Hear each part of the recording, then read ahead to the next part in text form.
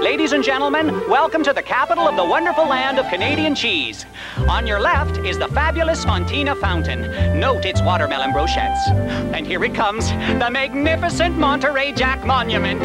And our national garden alive with fresh Colby and blue cheese. Finally, we have the Golden Gouda Palace. Ah. Don't forget our delicious cheeses at our souvenir shop. Welcome to the land of Canadian cheese.